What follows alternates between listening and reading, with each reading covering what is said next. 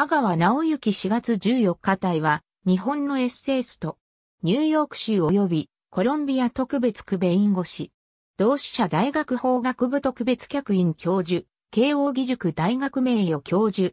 専門は、米国憲法史、日米関係史、作家、阿川博之の長男。妹は、エッセイスト阿川沢子。中学生時代、腎臓病で4年間ほど病床で過ごした。年代的には全教頭世代であるが、病気のため学園紛争に遭遇することはなかった。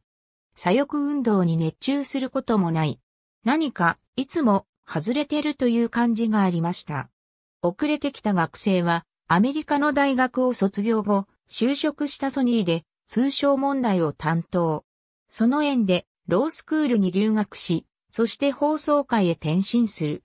新米派論客の一人、2002年には、スキャンダルの相次いだ外務省の改革を検討するために設置された川口淳子外務大臣の諮問機関、外務省を変える会有識者委員を務めた。また、同会の答申で出された外部人材の登用推進を受けて、2002年から2005年まで中米大使館の広報担当講師を務めた。祖父、阿川光一と父、阿川博之第6回読売、吉野作造賞、憲法で読むアメリカ史。ありがとうございます。